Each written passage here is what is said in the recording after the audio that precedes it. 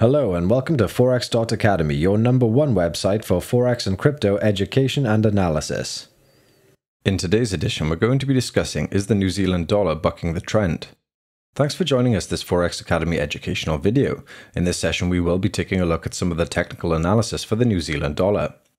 As many countries in the Western world are still in the grip of the coronavirus pandemic, and with many Western countries now seeing a second wave, the country of New Zealand has managed to maintain a low infection rate. The New Zealand dollar, also known as the Kiwi, is a major currency and one of the top currencies traded against the United States dollar. What other major currencies have seen huge swings against the US dollar and other currencies? The Kiwi has remained one of the best performers. In this yearly chart, if we go back to the beginning of the year, we can see that the pair topped out around 0.6700. This was before being sold off heavily in the middle of March. This was largely attributed to the United States dollar being bought as a safe haven currency and before the pandemic really began to take hold in the US. Since then, the New Zealand dollar has climbed up to record highs for the year to peak in September at 0.6765. And although it is off that high, a clearly defined line of support can be seen on the chart, where the support line is moving higher, potentially offering a squeeze back to the resistance line and possibly beyond. At the time of analysis, the exchange rate was 0.6610, and with a high of 0.6765, it represents a fall from the higher of only 155 pips.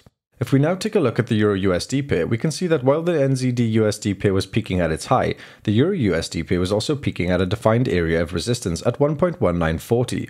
It is subsequently pulled back to its current low of 1.1647, which may become an official support line if it moves higher, and where this move is minus 293 pips, or almost twice the fall of the pip value of the NZD USD pair. This is another indication that traders believe that the Kiwi is worth buying. This was further helped this week by the Reserve Bank of New Zealand, which stated that it would begin to cut back on its government bond purchases and that the economic activity was rising while the coronavirus was under control. Safe haven currencies saw some buying with continual downward pressure on the USD JPY pair last week, which tried to hit the key level of 104. Also, the US dollar becoming a safe haven currency, moving to fresh highs of 94.00 on the DXY index. Yet again, it did not cause a huge sell off in the New Zealand dollar as it held the support line. The week ahead is a monumental one, potentially a change in the leadership for the US presidential office, and it is extremely difficult to predict where things might go from here. However, once the dust has settled, the economic indicators favour the New Zealand dollar, and we believe this will become a bid currency.